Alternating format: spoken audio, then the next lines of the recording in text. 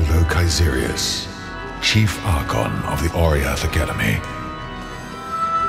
I write in a fevered state, terrified by what I have become.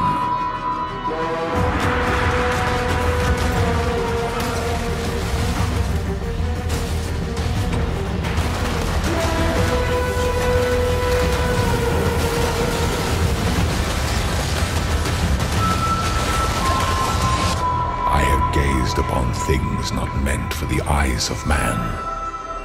Spores of malignant madness that must be stopped. None of us are safe. An elder and indescribable evil, shrieking with immemorial lunacy. My sanity ravaged by its relentless jaws.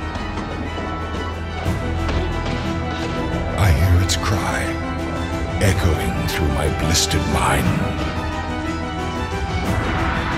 The elder stands, knocking